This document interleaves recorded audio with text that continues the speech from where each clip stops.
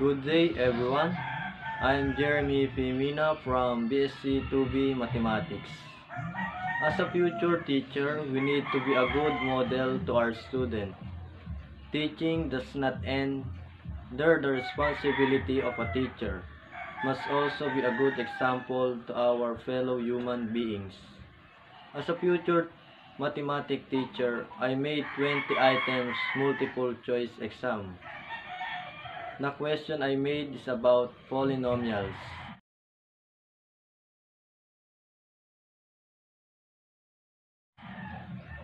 The learning I want to access from grade 9 students is their cognitive skills and mathematical skills.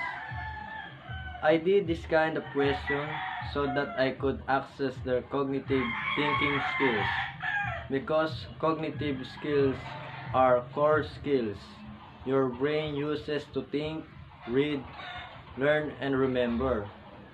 Also, multiple choice is one of the better items of the exam. This type of question is also to test their knowledge, also their comprehension. This is also where their critical thinking will work in choosing the right answer.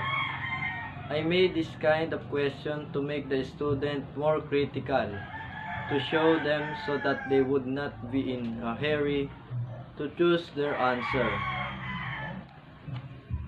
And that will be for all this video. Thanks for watching. Keep safe and God bless us all.